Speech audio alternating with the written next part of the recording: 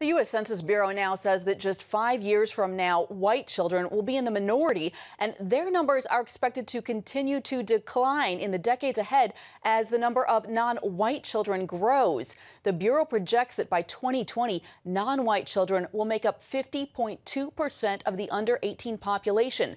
By 2060, non-white children will have grown to make up more than 60% of the under 18 population. The Bureau also projects that by 2044, the U.S. will become what it calls a plurality nation. That is, no race or ethnic group will have greater than a 50% share of the nation's population. Moving towards 2060, the number of whites will continue to decline, and the number of Hispanics will increase by over 100% until they account for 29% of the population. Joining us now to talk about these trends is Dr. Carlos Campo, who is the National Hispanic Christian Leadership Conference's chair of the Alliance for Hispanic Education. Dr. Campo, we're looking at a country that that is really headed in a different direction. That is, you know, a very different picture of life in the United States as we have known it. Uh, what is your take on what this all means, and is the Hispanic Christian Leadership Conference um, seeing this growth in its churches right now? We're absolutely seeing the growth in churches, Heather. I think one of the things that's interesting is you're seeing growth across the board. So in evangelical churches that are independent, tremendous growth. Great growth even in the mainline churches. If you talk to mainline pastors, they will tell you that their predominant growth is coming from the Hispanic community. And that's true of the Catholic Church as well. Tremendous growth there too. And I think one of the things we're trying to emphasize is that while the Hispanic population is growing at a tremendous rate, we don't think it's going to fundamentally shift the nature of who America is, I guess. I, I, think that's one of the things as you think about the ways that Hispanics will assimilate because their values align so well with the values that we cherish in America. We think that it will be a, a fairly seamless transition.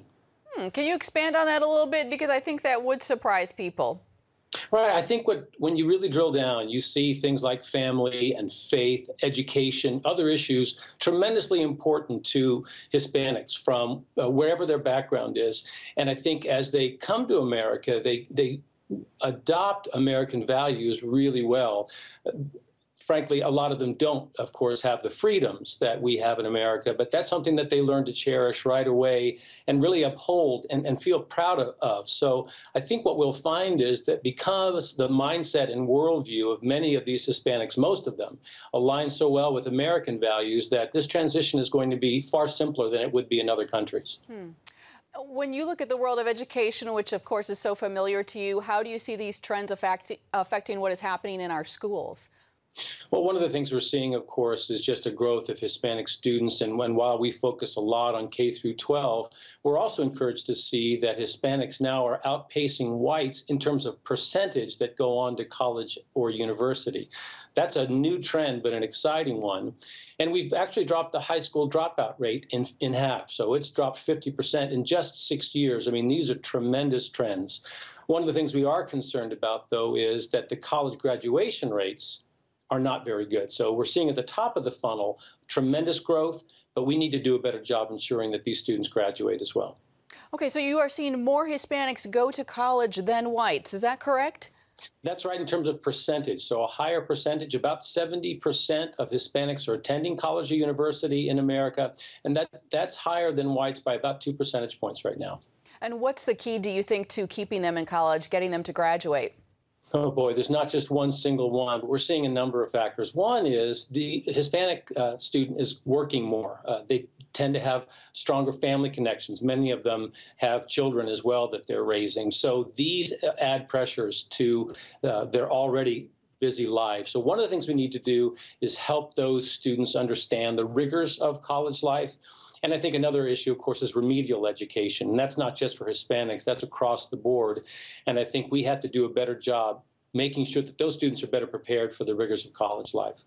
All right, and I'm just curious politically, how do you see these numbers affecting U.S. politics as we go forward?